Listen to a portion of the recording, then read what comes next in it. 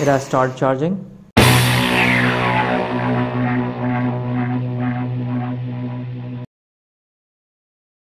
So guys, this what you see is a mixer motor. It's in a pretty bad condition. You can see that uh, the wiring and the winding has been burned out at least for the rotor. Although the brushes can be reused. So let's open it up without any further delay.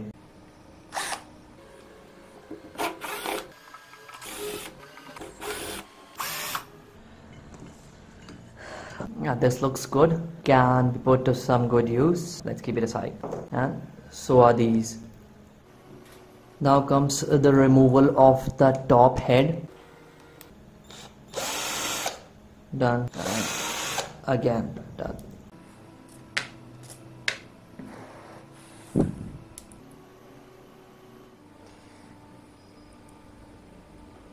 Ah. now comes the brush tapping removal.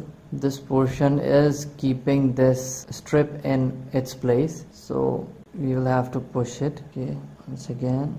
Yeah got it out. And we have a full good condition brush that we can put to good use in some motor so now we can remove the stator at least. And yeah here we have a stator which seems like it's fine but to be sure about it we will have to put it to resistance check. That's uh, the rotor pretty bad condition. Yeah not good at all. Well guys I just forgot that I also needed this metal base from this. Uh, so obviously I will have to remove this cooling fan and it is jammed pretty good you see completely rusted over here. And the legendary WD-40 as you can see that I've removed the fan. And all I have to do is remove this. Yeah done. Washers. And the armature is now completely separate so guys finally it's time to do the resistance check for each of the two poles. And uh, you see that this pole has three wires. So uh, we will have to figure out the maximum resistance wires and then leave out the third wire. So first confirming the resistance with the pole with two wires and what we have here is 2.1 ohms. So the resistance is quite low for so many turns. So but still let's check for the other one.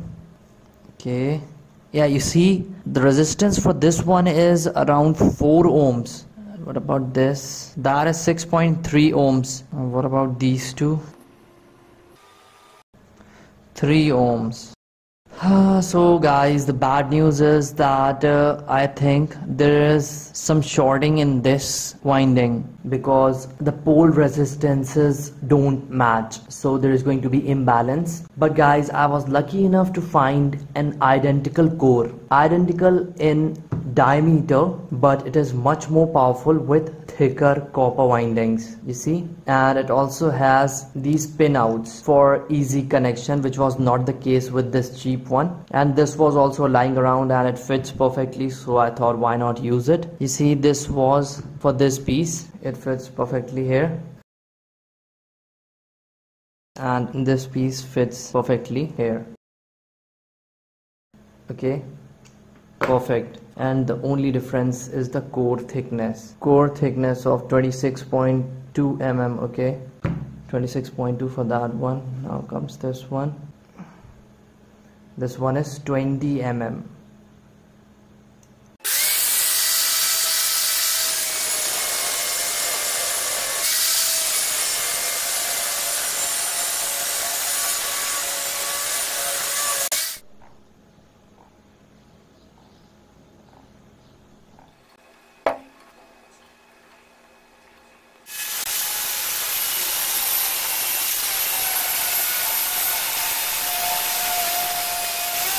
Now guys, this was the armature of that universal motor from a mixer and I have chipped away these two sides to place the magnets. And I'm going to use the perfect concave magnets. Okay you see how it fits over here? Yeah and same for the other one. And it's something like this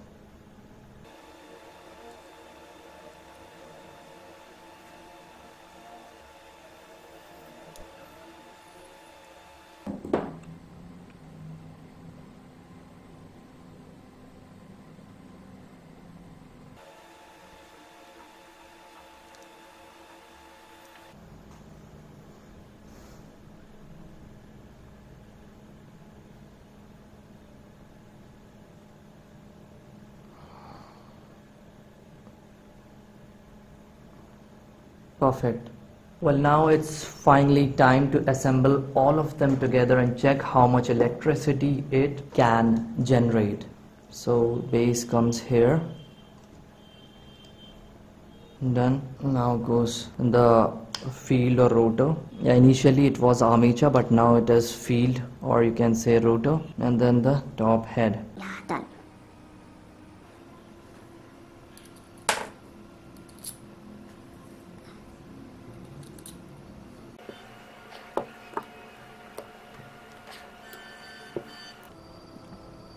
Yeah.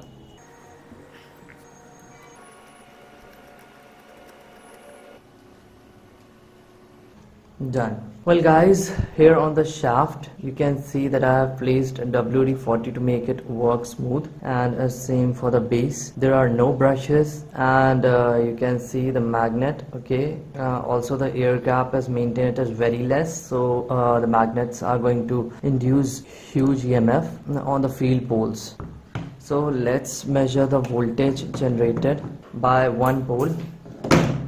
Well here I've pointed the meter towards AC AC voltage because it is going to produce AC you can see simple rotation and it is generating around 2.5 volts AC 3.3 yeah 3.5 volts for one single pole with hand rotation. Imagine guys when I connect both the poles in series then obviously the hand rotation voltage is going to go around 7 or 8 volts. And with rope rotation testing and uh, like uh, if I run this motor with this drill machine and all then obviously the voltage will easily reach around 12 volts. And also if you see the thickness of the copper winding it is good enough to produce good current So guys, today we are going to do the performance and generation power testing of this modified mixer motor to dynamo. I have added this drill chuck at the back because it was moving up and down a lot and also it is easier to rotate it like this with this chuck. And uh, now comes the important part. This coil has these two terminals and this coil has these two terminals. And we have to connect both the coils together in series in such a way that the voltage gets doubled when I rotate the shaft with this okay? So initially it was generating in my previous video which you saw it was generating around 3.5 volts AC so our target is to achieve around 6.5 to 7 volts with hand rotation. So I have connected one pin over here and the other one I will connect over here. Well right now I'm doing just hit and try. One terminal connected. Now uh, the terminals that are left out are one terminal is this and the other one is this. So to this terminal I will add this. Done. So now in total I have two terminals. So to these two terminals I will connect a multimeter and then measure the voltage I am achieving now let's rotate the shaft and see if the voltage has increased.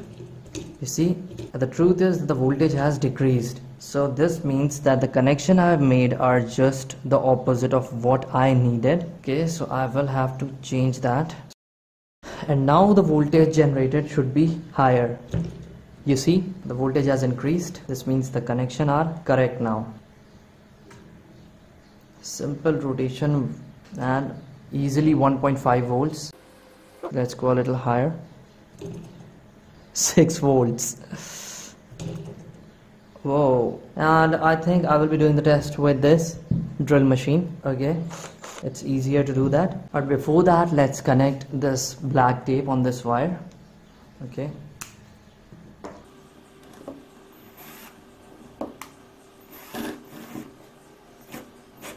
Yeah okay. See for the voltage over there.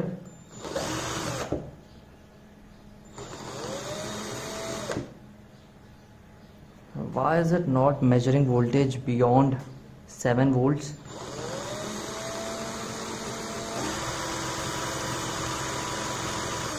So 10 volts was the max I could get with this drill machine. Again. Yeah 10.32 volts well guys now I'm going to repeat this very test with a bigger 350 watts drill machine with an even higher RPM and torque. Let's see how much sorry it's going to be AC volts. Let's see how much AC voltage it generates okay?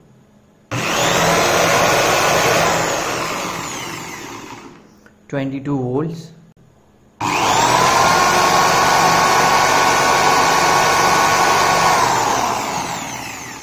around a 24 or 23 volts. Pretty good voltage for AC so guys now I'm going to connect this car headlamp bulb okay? And since it's a DC lamp so I am using a rectifier 35 amperes bridge rectifier okay?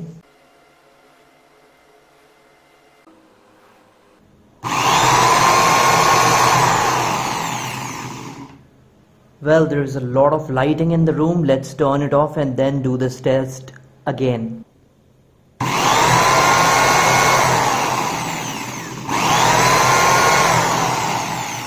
Pretty good.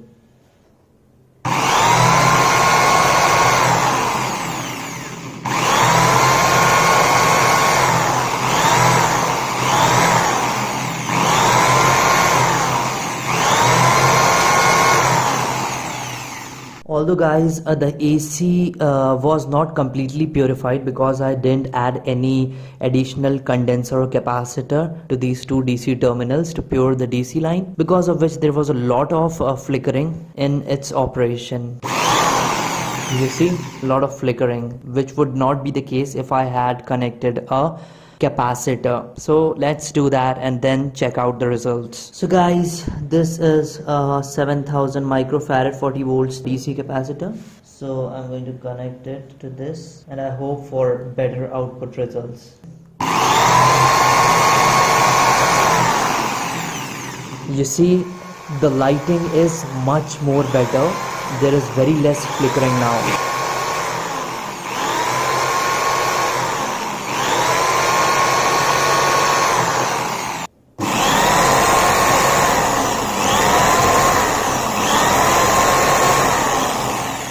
well guys now to the output terminal. I have connected this 220 volts transformer. So uh, I'm going to boost the voltage from 24 volts. Yeah it is generating 24 volts to 220 volts maybe even more. Let's see how much voltage it produces at the output. Connections have completed. Let's turn it on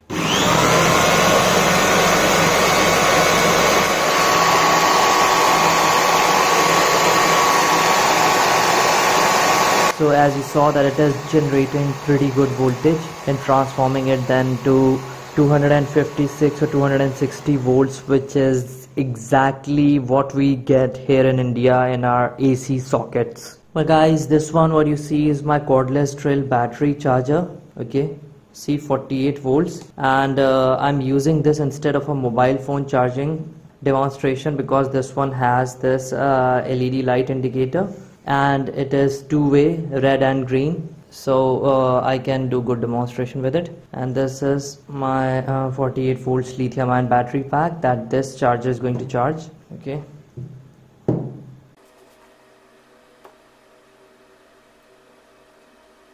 Yeah connections have been made. Yeah that's the indicator remember? Okay.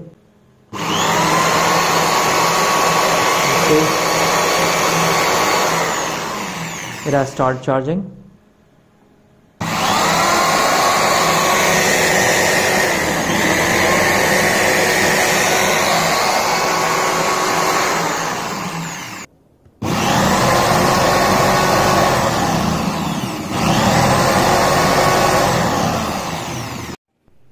Well, the generator here as you can see is connected to the drill machine and to the transformer and to my night bulb okay